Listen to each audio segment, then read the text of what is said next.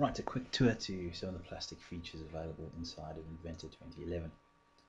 Um, first off is our grill tool. And um, basically click on the grill tool.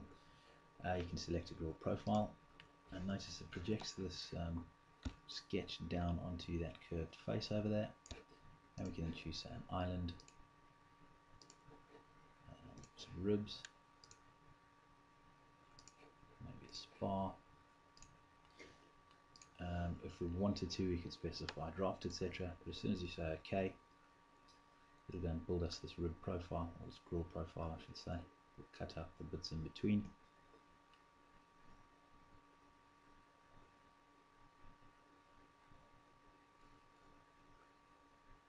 And there you have it, our grill feature is created for us based on the sketch we supplied.